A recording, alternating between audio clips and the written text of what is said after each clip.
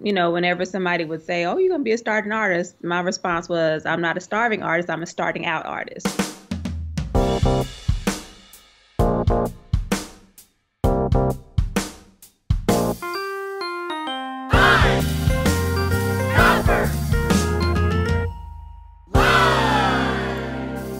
Hello, print friends, and welcome to the 59th episode of Pine Copper Lime, the internet's number one printmaking podcast. I'm your host, Miranda Metcalf. I release weekly podcasts with people in the print world who are doing something a bit beyond the expected. So please subscribe on your podcast listening app of choice. You can also find Pine Copper Lime on Instagram and Facebook and you can sign up for our monthly newsletter with print news from around the world, all at pinecopperlime.com. We also have a Patreon page where, if you find yourself liking this little podcast and you want to throw a few dollars our way each month, you can get really cool thank yous like stickers and totes and on air shout outs. And speaking of thank yous, Thank you, thank you, and thank you to those of you who are already supporting the show through Patreon.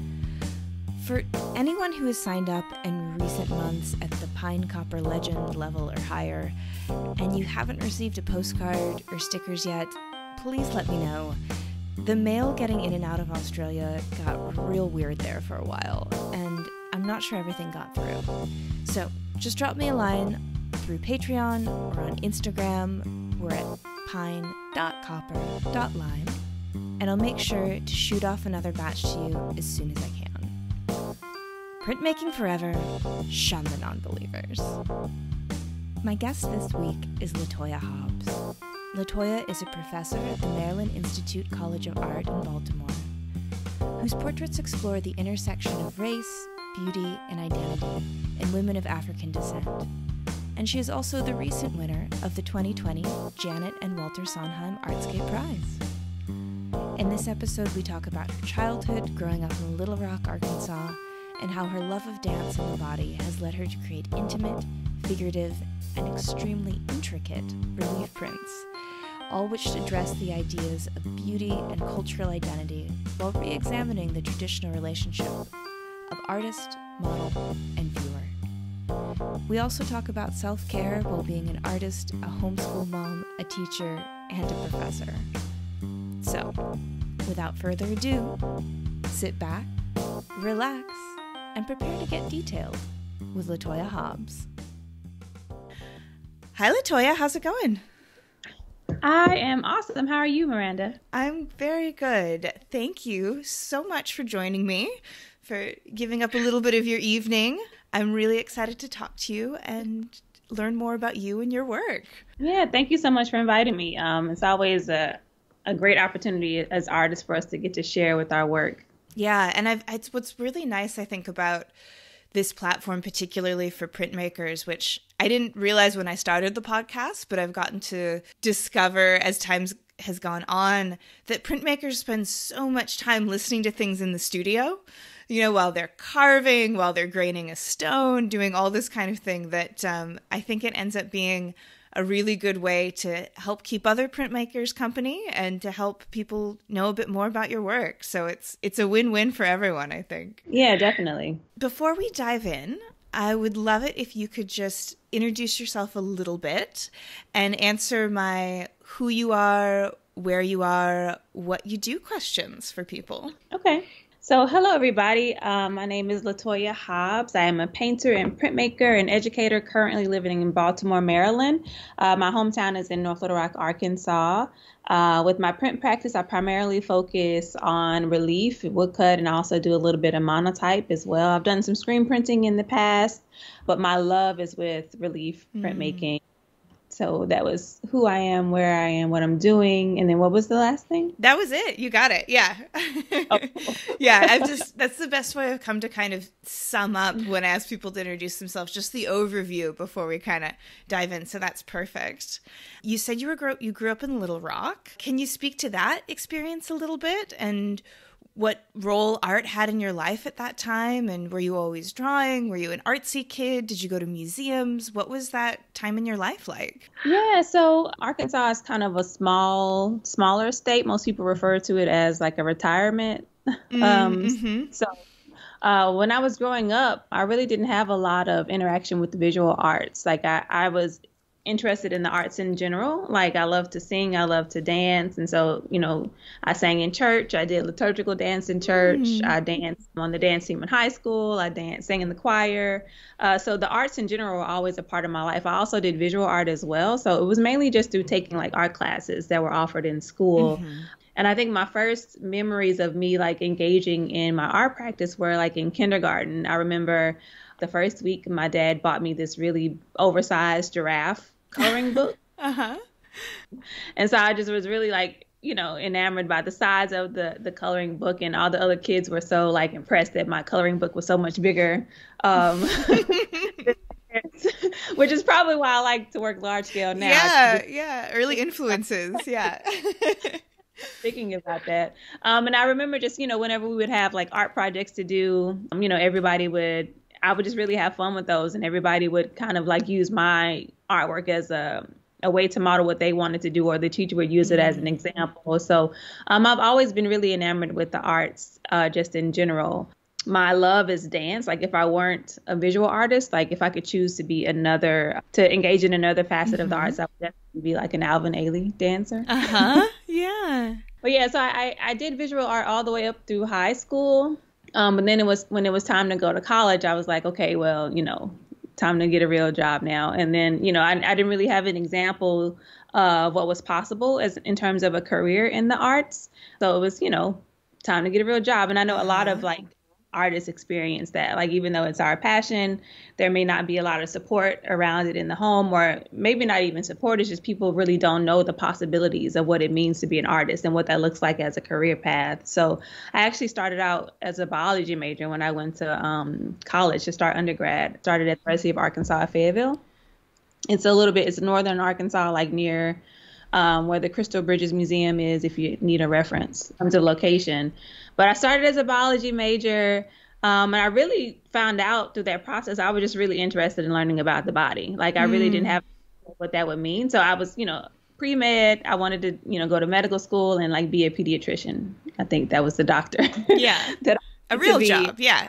yeah. Yeah. You know, but I really found out through that process, like, I didn't enjoy any of the chemistry classes. Mm. I hated being in the labs. I was always, whenever I was in the lab, I was just thinking about what else I could be doing. My mm. mind was mm. always somewhere else. And the cl- only classes that I really enjoyed were, you know, classes where I was learning about the body. Mm. So, like, the turning point to me, for me, is when I got to like organic chemistry. I was just like, no. I was like, this is not it. you know, and I was just really unhappy with what I was doing. And so um, I really found encouragement through my church at the time. The pastor gave a message about how God gave us our gifts and the things we enjoy mm-hmm. for a mm-hmm. reason, and that those are the things that we should be engaging in. So that was kind of motivation for me to really get back into the things that I personally enjoyed. Because, you know, my college experience just wasn't going well at all. Mm-hmm. So I wasn't quite ready to not be a biology major, but I just started like, you know, okay, let me take an art class here, let me take a dance class here, just starting to add those things to my schedule. And I, you know, just realized that I was really missing engaging in those activities. So mm-hmm. I eventually ended up transferring schools and I transferred to the University of Arkansas Little Rock, which is again my hometown. Um, and I had enough like credits to have a biology major. And so I said, okay, well, let me just try biology one more time. But mm know, just to make sure, you know, because my family was like, you know, don't give up, don't quit. I think you're giving up too easily. So I said, okay, one more try. So I, you know, started as a biology major again, um, but then I still continued to take dance classes and get got back into taking art classes. And but then I just was like, no, this is really not where my heart is, and this is not what I need to be doing. And it, you know, at the time, I saw so many um, non-traditional artists, and I mean, excuse me, non-traditional students. Mm-hmm. And what I non-traditional. Is like there were older people who had like gone to school and then they did something that they didn't really enjoy because you know they had to just get a job. And so they worked like 10 or 15 years in a field that they didn't enjoy. Now they were back in school trying to do the thing that they really wanted to do in the first place. Mm-hmm. i saw that and i was like i do i don't want that to be me. Yeah. Um, decided to change even though like i was at this point i was already like in my senior year so I just decided to make a change. And then one of my art professors, AJ Smith, who was actually the person I learned printmaking from, he just sat me down and was like, What do you want to do? And I was like, Well, I want to be an artist. And he was like, Well, you know, you just need to commit to that. And so that was like in 2007. So that's when I really decided, okay, I'm going to be an artist as my profession. Um, and so, you know, I changed my major to officially being an art major. And then I, I think I had to stay maybe a year a year and a half longer to finish that degree. Um, but I say that like everything completely changed when I just uh, fully commit to my passion and what I really enjoyed. And that's something that I always tell like younger people. You know, I'm a faculty member at Maryland Institute College of Art right now. And so whenever I hear a student, you know, talk about how, you know, I'm graphic design because my parents want me to do that, but I really love painting or, you know, I really sculpture, my advice to them is like, you are the only person that's going to have to job every, you know, so just really think about that. You have to make sure that you're, you're going to be happy in the end. And so I can honestly say when I made the decision, like everything started to turn around. Like I started getting grants and scholarships mm. and yeah, it was just really a change for the better. So that's kind of how, you know, my introduction to art and then just really becoming serious about being an artist. Yeah. I just I identify so much with what you were saying about feeling like you're you're supposed to be on this path and trying to make it work and then, you know, I'm just thinking about like your family encouraging you because, you know, when there's people in your life that you love and they're kind of faltering, it's difficult to tell if they just need someone to tell them to keep going or if it's really not for them. You know, I feel like that such can be such a tricky thing because sometimes people get to the other side and they're like, "I'm so glad you encouraged me." Like, and sometimes it's really not for them. And that idea of of that like spiritual side of things, I've heard it described in spiritual context as like a like a burning in your heart like and that's what you need to follow like you'll actually feel it in your body when you're getting closer to what your calling is it's it actually it's a physical feeling and it's something that I've definitely felt and I've never regretted trusting it ever. I also think about it as like the difference between something being difficult and something being hard. Like like mm-hmm. organic chemistry that's like a difficult thing like that is a hard thing to study but it's even though it's a difficult subject it's not hard for somebody who really enjoys that totally right and so that's what I, how I feel about art. Like some some processes of being an artist are difficult, but because it's something that I enjoy, that I'm passionate about, it's easy for me to engage in and to do. And I also really started. Somebody, you know, posed the question like, "Would you do what you do do you love it so much that you would do it even if you're not getting paid for right. it? You know, and because if you love it that much, that means you're going to be passionate about it and you're going to perfect it um, just because it's something that you care about. And when you can engage in something uh, that deeply and that passionately, then it's going to bring about some type of success or some type of reward. Yeah. Yeah. And it's one of those things that's something we get told our whole lives but actually trusting it it really you have to learn to do it. You have to learn that it's not just a fairy tale and that it it really truly does.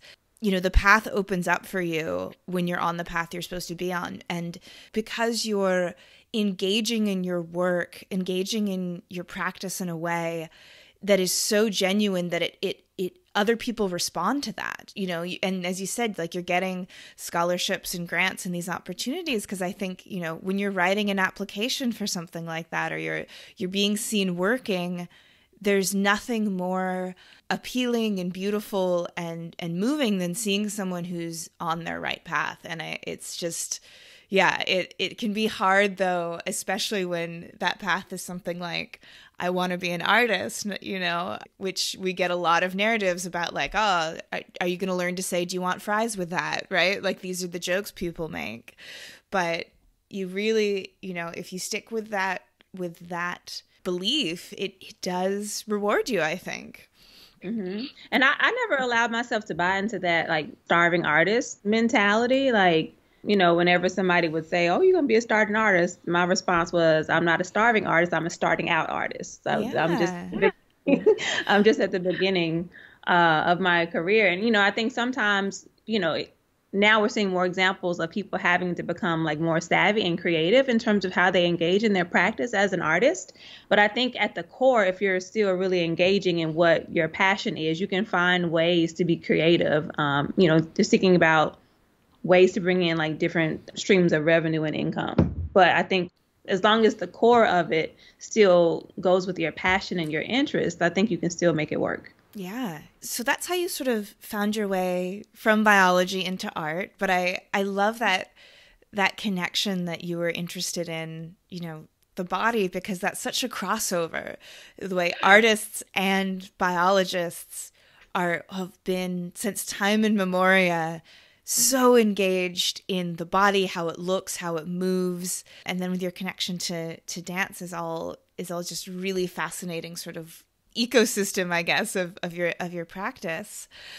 Did you see that when you were making that transition? That at their root, in a lot of ways, biology and, and art have so much connection like that to the, the human body?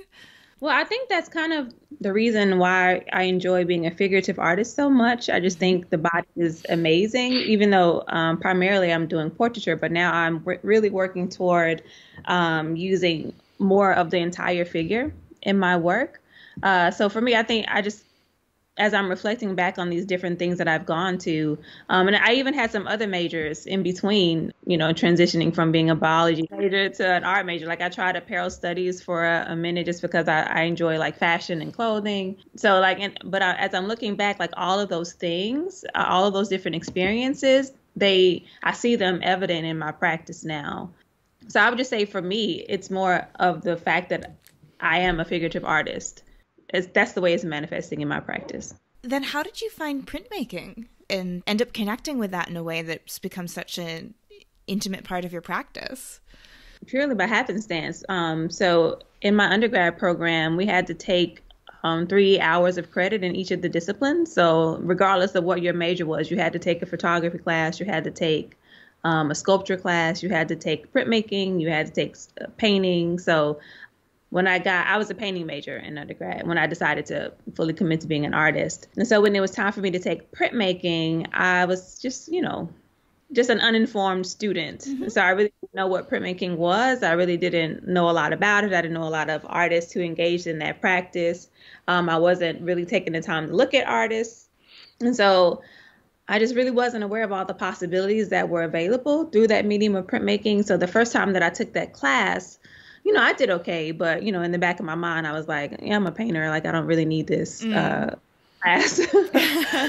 but like, I, I started learning about other artists, and then you know, as I continued to engage in it, I realized that there was a lot I could have done, like in that class. Because shortly after I took that class, or at the end of it, I learned about like Elizabeth Catlett um, and in sculpture practice, and so her imagery just really resonated with me.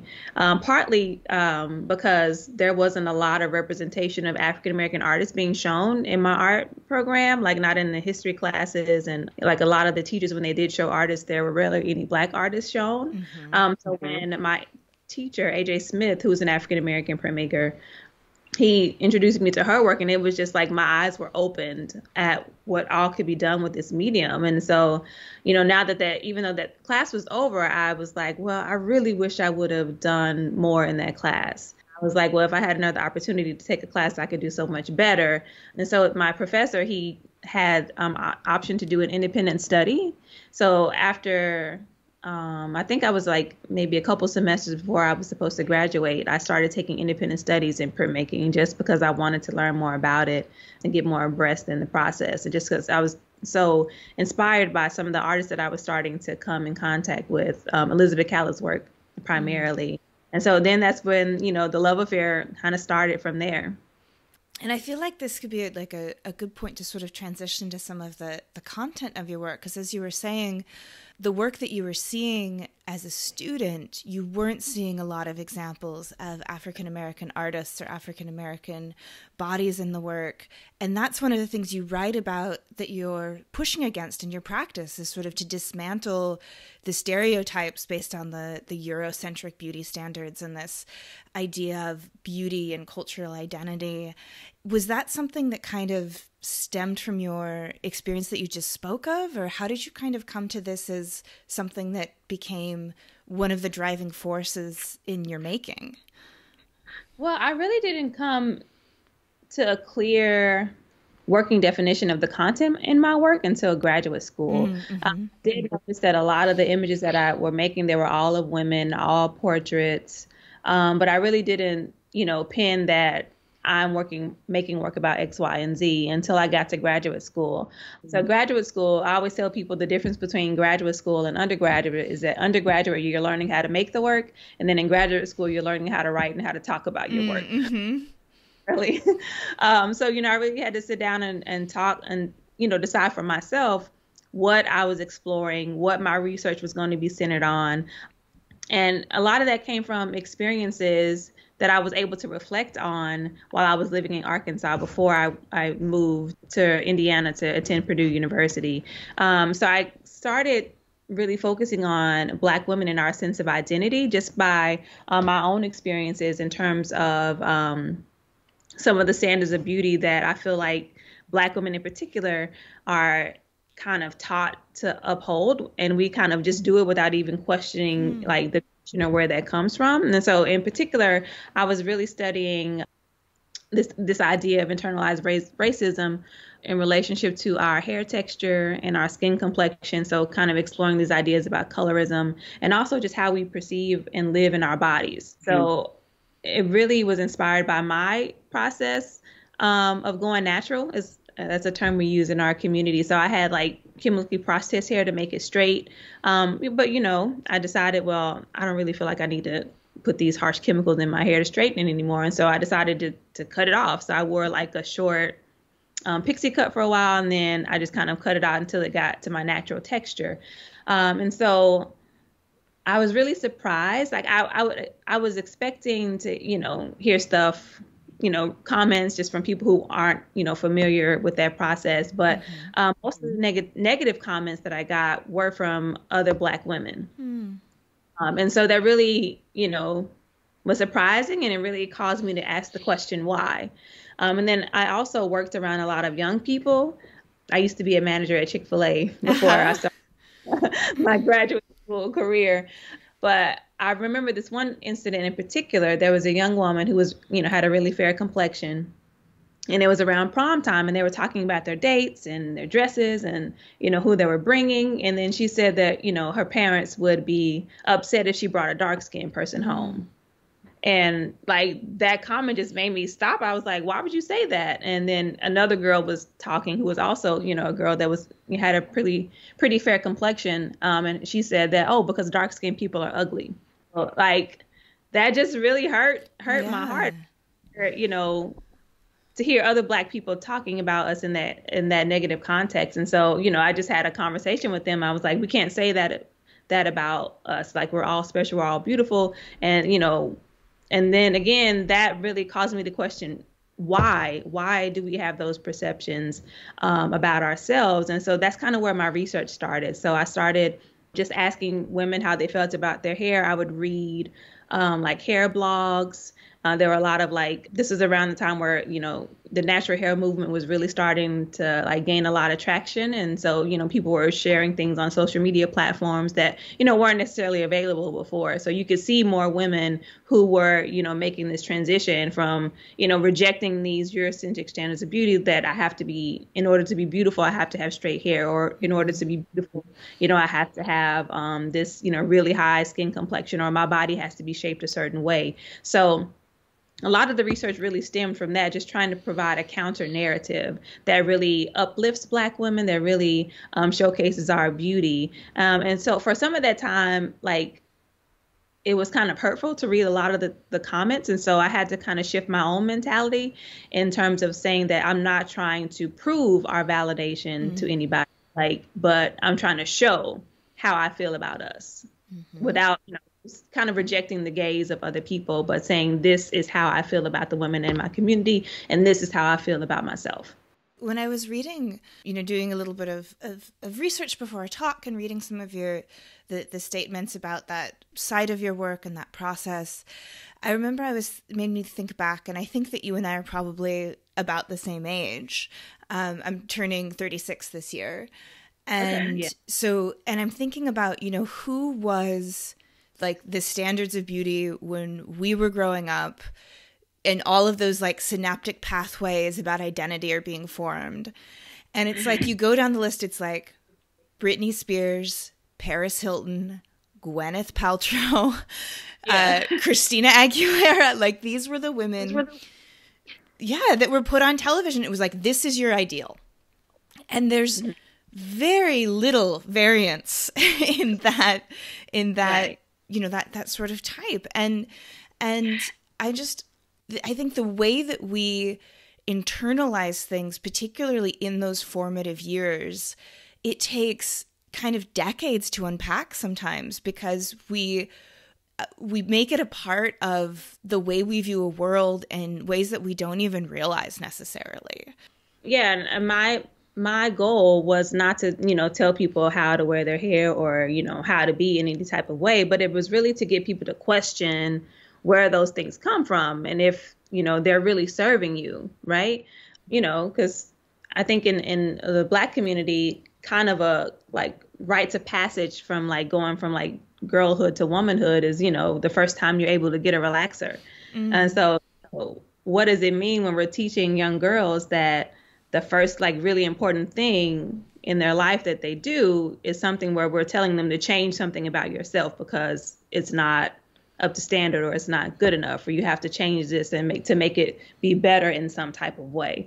And so you know that those traditions kind of get passed around and then you know we just really don't even question where they come from.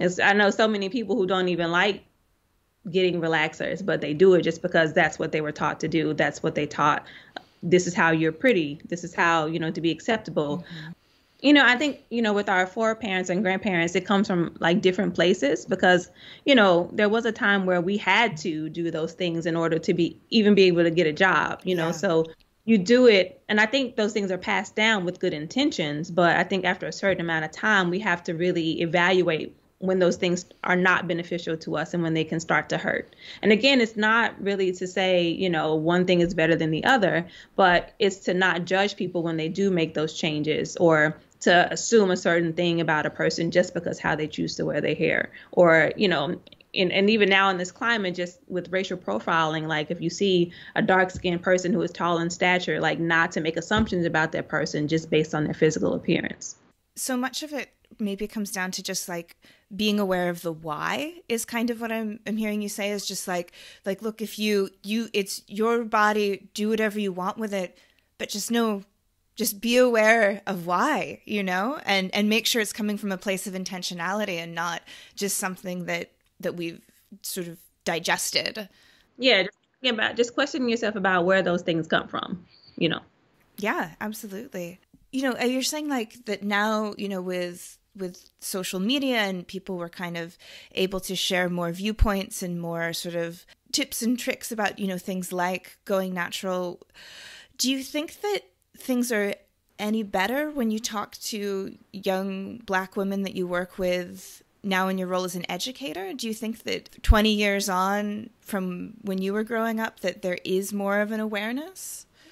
Yeah i definitely think so. Um, i've seen a lot um, change but just people just embracing who they are mm-hmm. and having this monolithic way um, to display blackness. And just you know since we're talking about natural hair because you know there's so many blogs and so many influencers uh, and then children have access to so many things. And there's a lot of like intentionality about the proper representation right? We always hear this phrase you know representation matters. And it really mm-hmm. does like if you don't see an example of yourself that's you know intended for the the way that you see yourself then it's going to be hard to accept that but you know i feel like there's a lot of progression that's happened uh, with women just you know having the audacity to accept themselves and right. i think this goes across like all all races, all platforms. You know, you still have kind of pushback and you know these things that you know are expected of women that are performative, how we're supposed to behave and act and look and dress. But you know, you see so much push pushback from that, and a lot of people are saying, "This is me.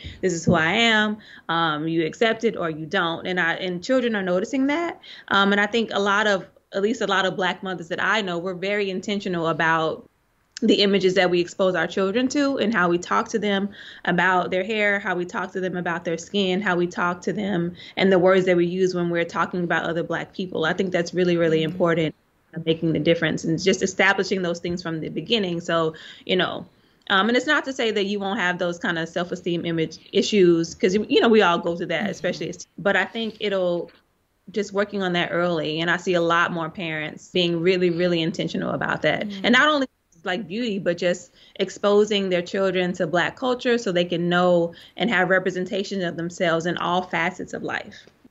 Another side of your work that I was really taken within the way that you described it was that traditional triad that you call of the that sort of artist model and viewer and that relationship. And it's one of my favorite things to think about when it comes to art in terms of you know how do all those individuals interact? How is the meaning of work you know actually established within that. And i just love to hear you speak to your views on it because i think it's such a fascinating side of the visual arts.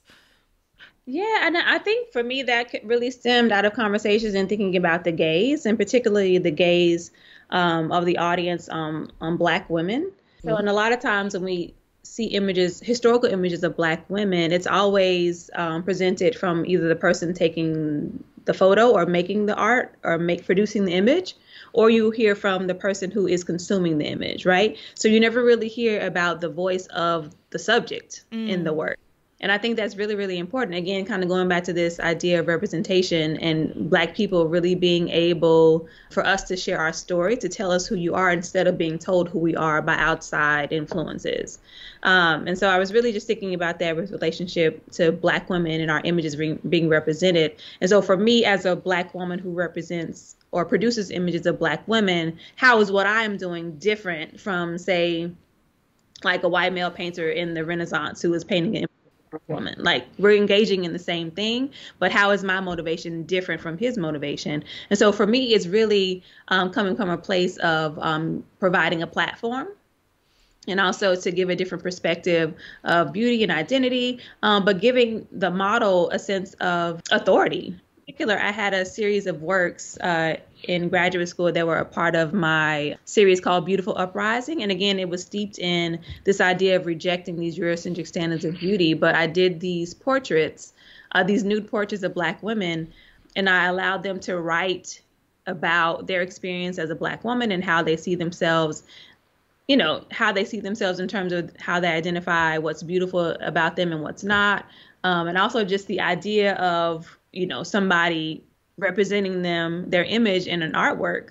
Uh, so i would take these statements and then i would actually put them in the work. So in these pieces i would have the first layer would be just an excerpt of their text.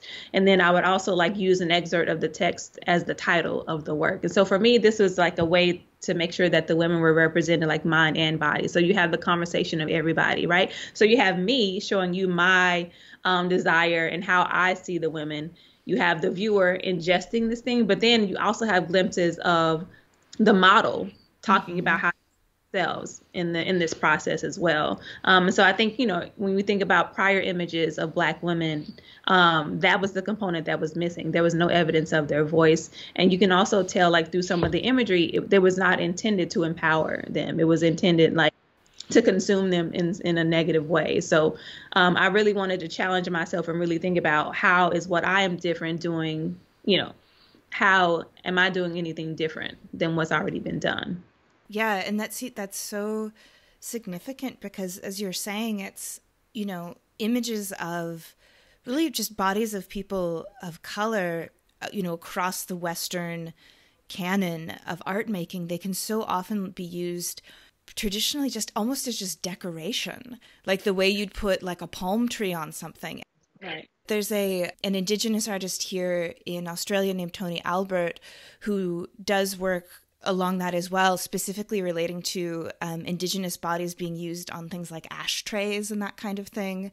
And mm-hmm. and so I love like what you're doing. That's like so. Not only are you saying I am a black woman who is taking agency and making these women these images of black women, but you're saying my subjects have agency as well, and this is how they feel, and that's such a a beautiful way to directly push back against that really dehumanizing tradition in the Western world. That's you know goes back hundreds and hundreds of years of people doing this.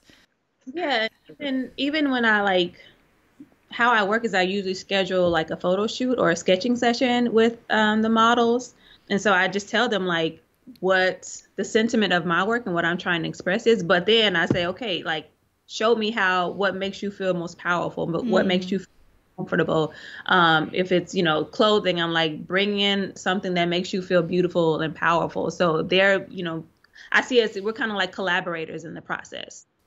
You've also written sort of really interestingly about how the actual physical act of cutting the linoleum has kind of a catharsis and that that idea of like cutting away negative ideologies as right. well. I'd love to hear you talk about that praxis of what you do.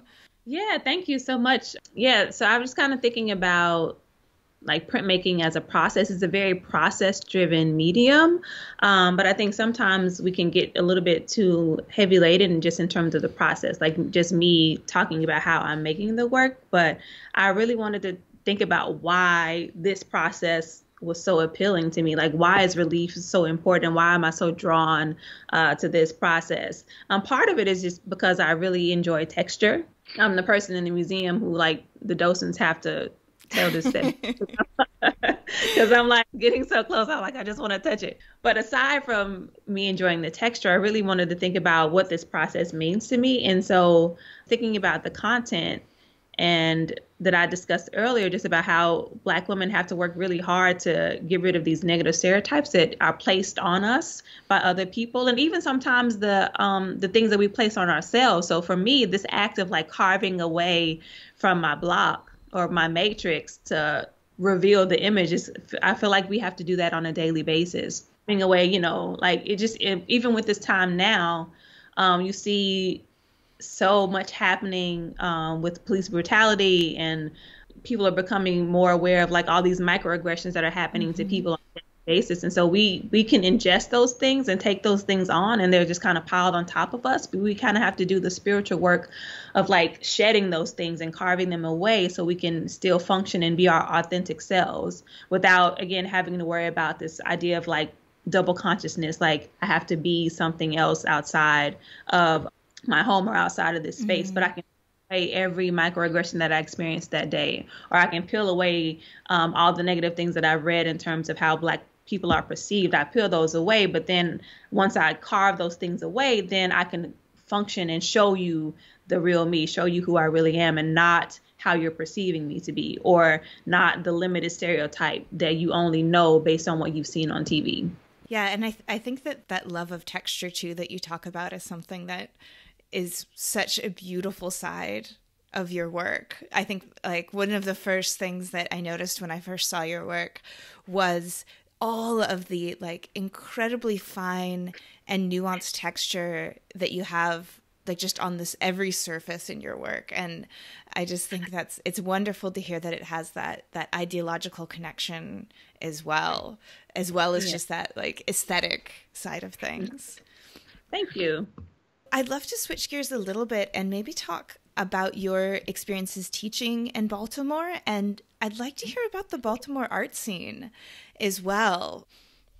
Yeah, so I um I've been in Baltimore since 2013. I um, right out of graduate school, I took a position here at Maryland Institute College of Art um, in the first year experience department. So basically, we work with all the freshman students that come through our program. And you know, Baltimore has been a great experience for me. Like prior to moving here, I never, I didn't really watch TV much, so mm-hmm. I never like knew, I had never seen an episode of The Wire uh-huh. before.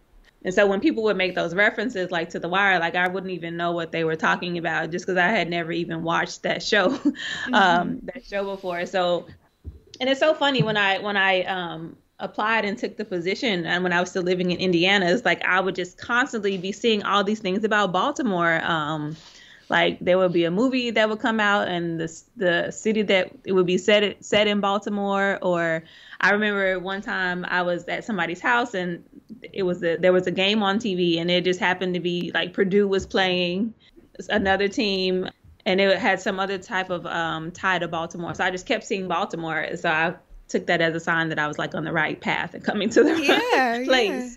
But yeah, so I, I was when people have the stereotypes, especially when um, incidents happened surrounding the death of Freddie Gray, mm-hmm. I was just amazed by how like selective the news stations were and what they were showing. So they were just really trying to paint this negative picture of Baltimore that tied in um, with what they already were comfortable in sharing about Baltimore. And so I actually, you know, didn't live far from where a lot of those things were happening. And I was like, that's not true. That's not happening.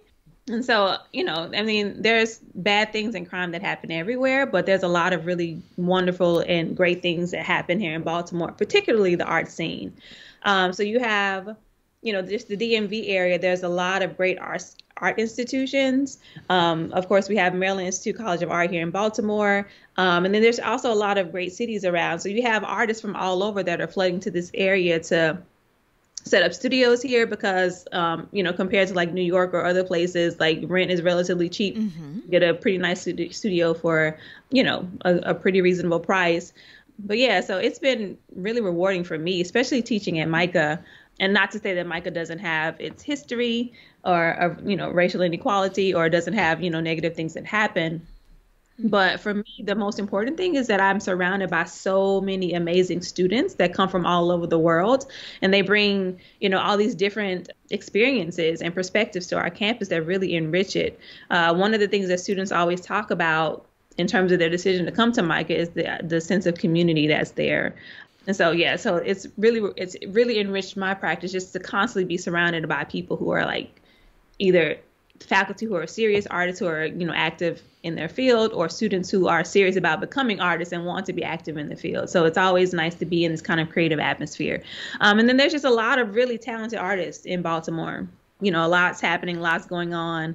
Uh, we have a nice, there's, you know, arts district. But again, you know, I don't want to just, you know, pretend like I'm looking through everything with rose colored right, glasses. Right. There are things that could be done um, in terms of having more visibility, you know, more, you know, diverse representation in museums. But I think, you know, people are making steps in the right direction. You know, there's still there's still room to go, but I feel like people are making steps in the right direction.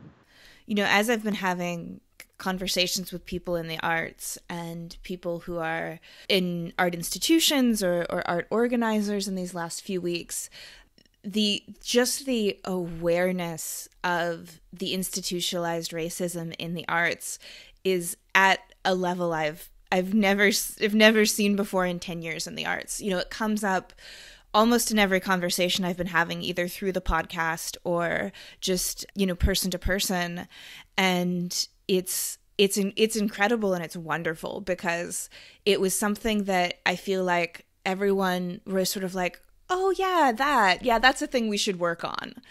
But just, you know, whether it's um you know the, the the the recent emphasis on the black lives matter movement or whether it's just covid and people having to stop and actually think but that is something that people are thinking about more in the arts more than I've ever seen. And I really hope that it's not something that's like the the flash in the pan sort of spirit of the moment. And it's will people will really look at ways they can kind of deconstruct those power structures that have been in place since that someone first came up with the idea of a museum. Mm-hmm. So in terms of being a teacher, this is something I'm always curious about, which is that how do you kind of balance your own practice with being a professor and you know needing to have energy for your students and needing to have energy for your courses but also needing to make sure that as you said like as a serious artist that you're feeding your your own work as well oh my gosh that's like the story of my life um so I'm also a mom too. I have two children. I have a soon to be four year old and a five year old uh, who will be six in the fall. And th- that kind of goes into like my, what my current series about, which is called Salt of the Earth. Mm. And it's basically personifying women as salt. Um, you know, and I'm talking about that through the lens of a black woman.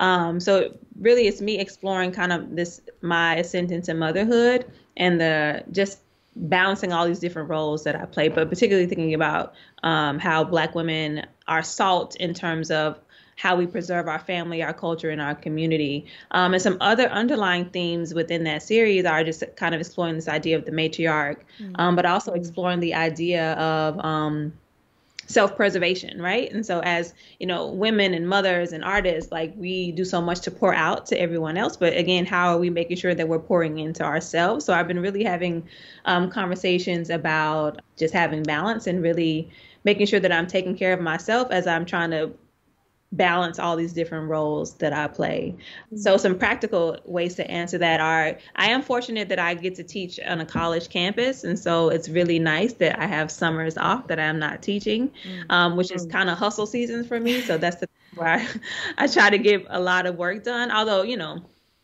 I do a lot of work in the school year too, but it really just depends on if I have a show coming up or if I have deadlines that I need to do specific things for.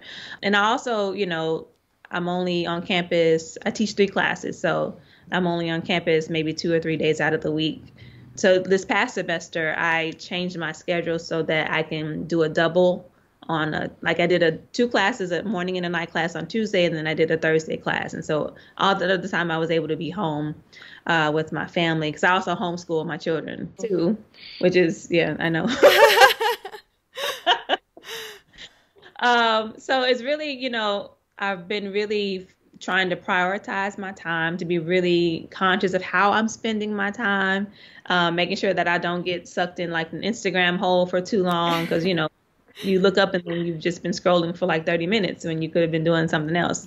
So just really being really mindful of my time and how I'm spending it, and also uh, learning to say no, and just being really protective of my time and really uh, making myself aware of what the priorities are and putting the most attention and a focus on those. So that's kind of how you know I balance my time. So, you know, during the summers, my typical day you know starts in the morning. Um, we've been doing homeschool the past couple weeks just to get you know, we kind of got a little bit behind with everything that was happening with COVID 19. And I also had to take some time away to go help my mom with some things. So we wake up, we do homeschool in the morning, we do go outside and play. And then I do all the, you know, Zoom calls because we are also, you know, preparing for what we're going to do in the fall in terms of trying to do hybrid courses.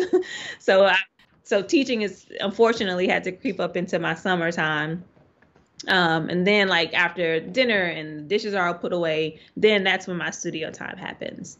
Which, you know, I have to be careful with that too because, you know, sometimes like I've been getting ready for a deadline the past couple weeks and I've been like up, you know, to sometimes three and four in the morning. But, you know, you can't do that too many days in a row because it's just not sustainable. Yeah. So it's just, you know, it's a balancing act. And again, just me deciding how I'm going to prioritize my time, what's important, what I can let somebody else do, what I can say no to, and you know, just really thinking about what's important and the most important things that I can focus on. Yeah, and it just sounds like like just being really intentional about how you're spending your time and your actions and all of that which is really wonderful wonderful advice i think for anyone who's trying to to balance wearing doing so many different things mm-hmm do you have like speaking i was do you have any other self-care practices that i mean do you do you like to do a face mask? Like do you have any like how do you on top of all of that like just because i'm thinking of this series that you're working on you know aside from that do you have practices that really help you like sustain with all of these different pressures? Yeah so i just try to find little ways um, to give myself breaks or treats so our music is really important to me um, and i realized like when the babies were young like i had to stop listening to music and i didn't even realize it because you know once the baby is asleep you don't want anything yeah. to happen it's going to make the baby um, but now that they're older like you know i can I've gotten back into the habit of listening to music because that that was something that I would do as a part of my daily ritual. Like I would get up and then I would one of the first things I would do after I would like, you know, say a quick prayer or do a quick meditation or whatever is to, you know, play some music to set the tone of my day. So I really started getting back into that now that the children are older and they like it too. So, you know, they have their favorite songs that we listen to together. Mm-hmm. Um, I also, I just like being around like beauty, beauty like beautiful mm-hmm. things, cool smells and good food. I like to cook a lot for my family. I watch cooking shows for fun to kind of release and get mm-hmm. ideas to cook anyway. Like I might as well, you know, cook something fun that I enjoy. Scented candles are a really big thing that I enjoy, and it's just you know these small things yeah. that I can do throughout the day just to kind of take care of myself. And you know, and then some days I'll have like a day where okay, I need to I'm gonna spend this time, I'm gonna retighten my locks or do a new hairstyle or give myself a pedicure. Um, but I think, you know, and a lot of people have been talking about self care that I listen to in and outside of the arts. And so, you know, self care doesn't always have to be that I have to go spend a weekend at a spa. It could be, you know, just these little things that you do throughout the day. Yeah, just to mm-hmm. give a little treat and take care of yourself. So, yeah. Do you get a chance to dance at all anymore? I mean, I guess I'm guessing maybe in the maybe in the kitchen, like, but yeah, yeah, in the, in the, kitchen. And so I, I use dance as um, exercise as well. I really enjoy being physically active. So um, you know, I have like dance DVDs that I'll do, but it's more for like cardio, not mm-hmm. like I'm routine or something like that. So I do engage in that, just not like I how I did in college where I would dance with a group or something like that. Well, beautiful. Well, to kind of just to, to wrap up, I'd love it if you could let us know if there's anything particularly that you're looking forward to coming up. I know it's kind of a strange time to talk about the future with COVID 19 and everything, but is there anything that's on the horizon that you particularly want people to know about? Uh, exhibitions, publications, anything? Yeah, that's on the horizon that, that would be good for people to watch out for? Yeah, I do. Um, so actually, today um, it was announced that I am a finalist in the Janet and Walter Sondheim Artscape Prize. It's kind of a big deal here in the DMV area. So um, there's a total of five finalists, and we are all, you know, competing to win twenty-five thousand dollars. Oh my gosh! Uh, so normal there, yeah, I know, right? Normally, there is a um, exhibition that happens at the Walters Art Museum. Unfortunately, that's not possible anymore, again, due to COVID 19. So, we're doing an online exhibition this year. Um, and those open up on July 6th, is when our galleries will be open to the public. So, um, you can go to my Instagram, it's LaToya Hobbs, L A T O Y A H O B B S, and you can find more information about how to gain access uh, to the online gallery when it opens next week. And uh, some other things that, you know, have also been put on hold uh, due to COVID 19. So I earlier in the year, I got noticed that I was going to be um, in the next issue of New American Paintings. I'm not sure what's happening with that again now that COVID has wreaked havoc on our yeah. on our world. But I think the next like major thing that I'm really excited about is that I will be in an exhibition at the Baltimore Museum of Art in spring of 2021. It's going to be um, an exhibition of four women artists here um, in Baltimore. So I'm really excited about that, and I'm going to be starting um, a new large scale work specifically for that to, to that show. So beautiful. Well, I will absolutely link to all of that. And yeah, I just want to thank you for taking some time out of your evening and talk to me. It's been just a, a pleasure and, and just beautiful to hear everything that's going on. Yeah. Thank you so much for having me. Yeah, and I will be in touch um, about kind of publication dates, anything like this, as well for the podcast. And again, just absolutely a pleasure to get to know you and your work better. And congrats and best of luck on the on the prize. Thank you. Thank you so much, LaToya. I will be in touch. All right. Good night. Well, that's our show for this week. Join me again next week when my guest will be Andrew Fingerhut. Andrew is a publisher of prints who collaborates with artists and printmakers all over the world and connects them to create work through Raking Light projects. We talk about building a business which relies on connecting strangers, the perhaps surprising historical connections between Japanese woodblock and tattoo traditions, and why is it that printmakers love tattoos so very much? You won't want to miss it. This episode, like all episodes, was written and produced by me, Miranda Metcalf, with editing help from Timothy Pauschak and music by Joshua Weber. I'll see you next week.